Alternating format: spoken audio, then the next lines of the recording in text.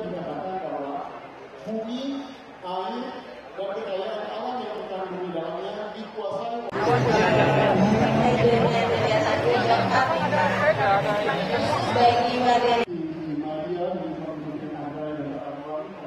Nasional, Bapak pimpinan Komisi 2 DPR RI,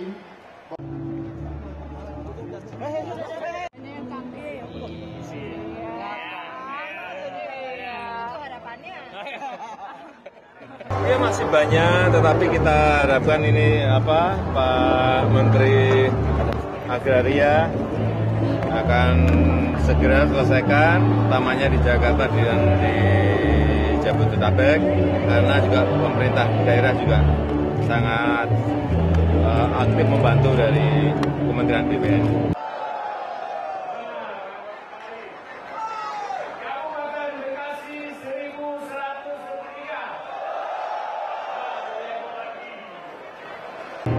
Nah, tahun depan kita sudah ada kerjasama sama Gubernur eh, DKI.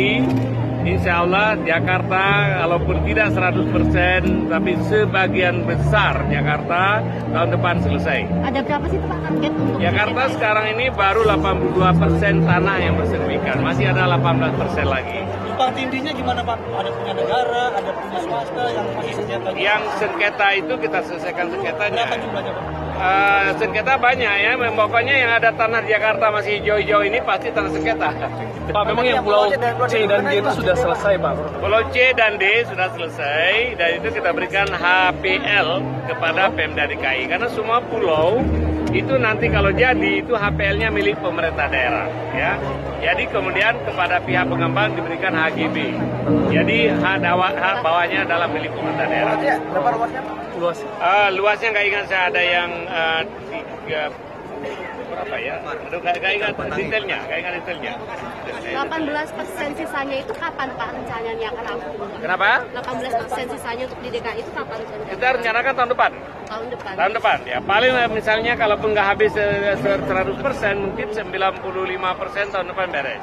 2000 se- saya yakin 2018 2019 semua bidang tanah di Jakarta sudah bersertifikat atau sudah.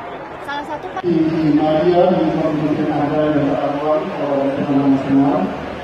Bapak pimpinan Komisi 2 DPR RI,